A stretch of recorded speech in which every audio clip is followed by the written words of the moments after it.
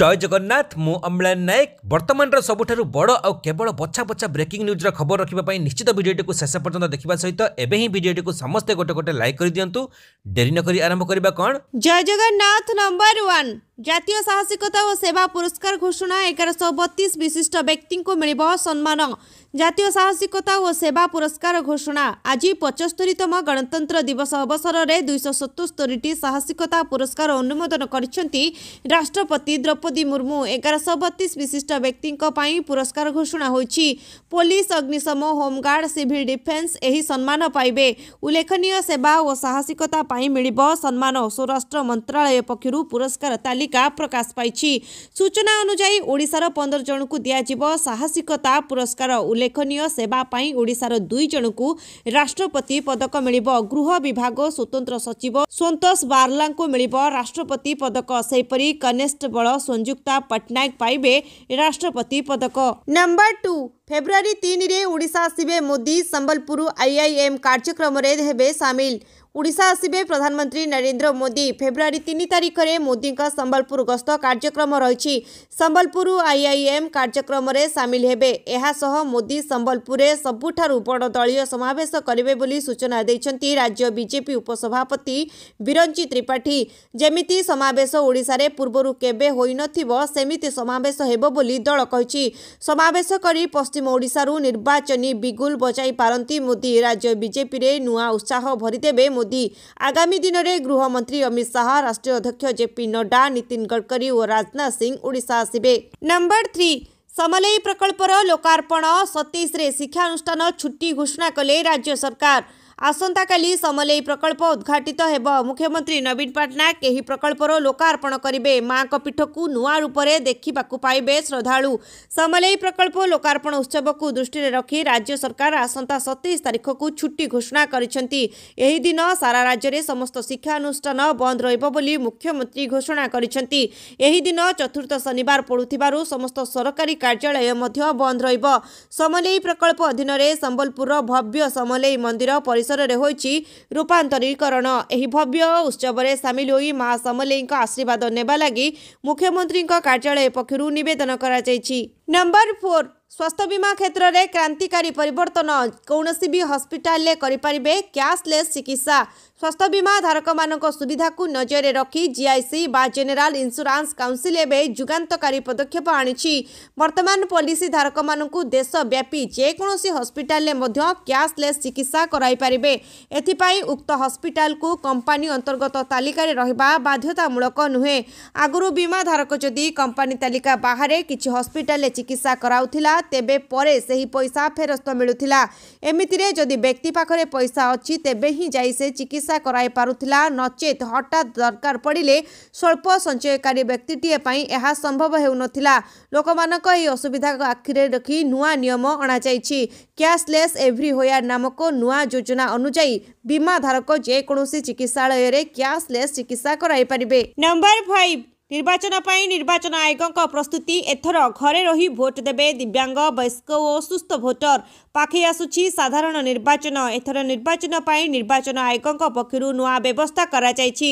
ଘରେ ରହି ଭୋଟ ଦେବେ ବୟସ୍କ ଦିବ୍ୟାଙ୍ଗ ଓ ଅସୁସ୍ଥ ଭୋଟର। ଅଶୀ ବର୍ଷରୁ ଅଧିକ ବୟସ୍କ ଚାଳିଶ ବର୍ଷରୁ କମ୍ ବୟସ୍କ ଦିବ୍ୟାଙ୍ଗ ଓ ଅସୁସ୍ଥ ହୋଇ ଘରେ ରହିଥିଲେ ସେମାନଙ୍କ ପାଇଁ ହୋମ୍ ଭୋଟିଂର ବ୍ୟବସ୍ଥା କରାଯାଇଛି।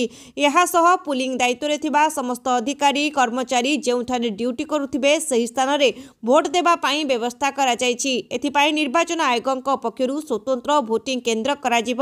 ରାଜ୍ୟ ମୁଖ୍ୟ ନିର୍ବାଚନ ଅଧିକାରୀ କହିଛନ୍ତି ସାଧାରଣ ନିର୍ବାଚନ ପାଇଁ ରାଜ୍ୟ ନିର୍ବାଚନ ଆୟୋଗଙ୍କ ପକ୍ଷରୁ ସମସ୍ତ ପ୍ରସ୍ତୁତି କରାଯାଉଛି। ସମସ୍ତ ଜିଲ୍ଲାରେ ଇଭିଏମ୍ ପହଞ୍ଚିବା ସହ ଟେଷ୍ଟିଂ ସରିଛି। ନମ୍ବର ସିକ୍ସ ଓଜେଇ ପରୀକ୍ଷା ପାଇଁ ଘୋଷଣା ହେଲା ତାରିଖ ମେ ଛଅରୁ ଓଜେଇ ପରୀକ୍ଷା। ଓଜେଇର ପରୀକ୍ଷା ପାଇଁ ଘୋଷଣା ହେଲା ତାରିଖ। ମେ ଛଅରୁ ଓଜେଇ ପରୀକ୍ଷା ଆରମ୍ଭ ହେବ। ମେ ଛଅରୁ ଦଶ ତାରିଖ ପର୍ଯ୍ୟନ୍ତ ପରୀକ୍ଷା ଅନୁଷ୍ଠିତ ହେବ। ରାଜ୍ୟ ଭିତରେ ତିରିଶଟି ଓ ରାଜ୍ୟ ବାହାରେ ତିନୋଟି କେନ୍ଦ୍ରରେ ପରୀକ୍ଷା ହେବ।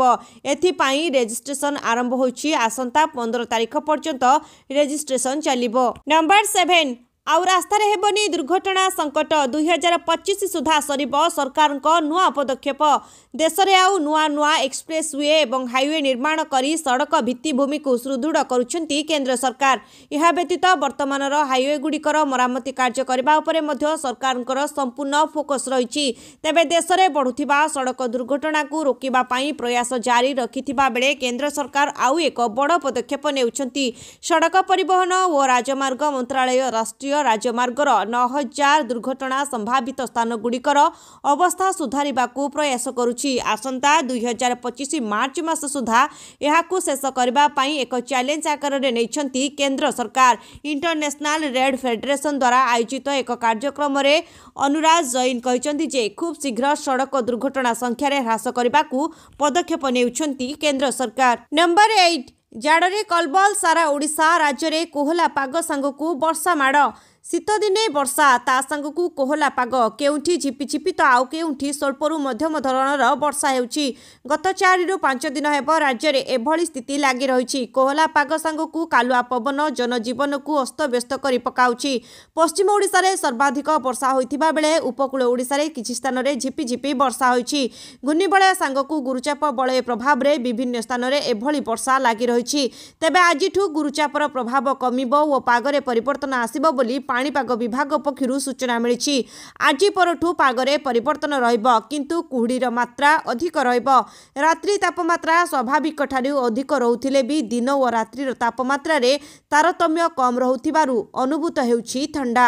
ନମ୍ବର ନାଇନ୍ ଡ୍ରୋନ୍ ସ୍ୱାସ୍ଥ୍ୟସେବାର ଶୁଭାରମ୍ଭ କଲା ଏମ୍ସ ଭୁବନେଶ୍ୱର ଷାଠିଏ କିଲୋମିଟର ଦୂରରେ ଥିବା ରୋଗୀଙ୍କୁ ପଠାଇଲା ରକ୍ତ ସ୍ୱାସ୍ଥ୍ୟସେବା କ୍ଷେତ୍ରରେ ପ୍ରଯୁକ୍ତିବିଦ୍ୟାର ସଫଳ ପ୍ରୟୋଗ ପୂର୍ବକ ରୋଗୀ ସେବାରେ ଅନନ୍ୟତା ଆଣୁଥିବା ଅଗ୍ରଣୀ ଜାତୀୟ ସ୍ୱାସ୍ଥ୍ୟସେବା ପ୍ରତିଷ୍ଠାନ ଏମ୍ସ ଭୁବନେଶ୍ୱର ପକ୍ଷରୁ ଡ୍ରୋନ୍ ସ୍ୱାସ୍ଥ୍ୟସେବାର ଶୁଭାରମ୍ଭ ହୋଇଛି ମଙ୍ଗଳବାର ହୋଇଥିବା ସଫଳ ପରୀକ୍ଷଣର ଦୁଇ ଦିନ ପରେ ଏହି ଜାତୀୟ ଅନୁଷ୍ଠାନ ସ୍ୱଳ୍ପ ସମୟ ମଧ୍ୟରେ ଜରୁରୀକାଳୀନ ପରିସ୍ଥିତି ଆବଶ୍ୟକୀୟ ଚିକିତ୍ସା ସାମଗ୍ରୀ ସହିତ ରକ୍ତ ଆଦିର ପରିବହନ ପାଇଁ ଡ୍ରୋନ୍ ବ୍ୟବହାର ଆରମ୍ଭ କରିଛି। ଏମ୍ସ ଭୁବନେଶ୍ୱର ପରିସରରୁ ପ୍ରାୟ ଷାଠିଏ କିଲୋମିଟର ଦୂରରେ ଅବସ୍ଥିତ ଟାଙ୍ଗୀ ଗୋଷ୍ଠୀ ସ୍ୱାସ୍ଥ୍ୟ କେନ୍ଦ୍ରରେ ଥିବା ଜଣେ ଜରୁରୀ ରୋଗୀଙ୍କ ପାଇଁ ଏଠାରୁ ଯାଇଥିଲା ଏକ ୟୁନିଟ୍ ରକ୍ତ।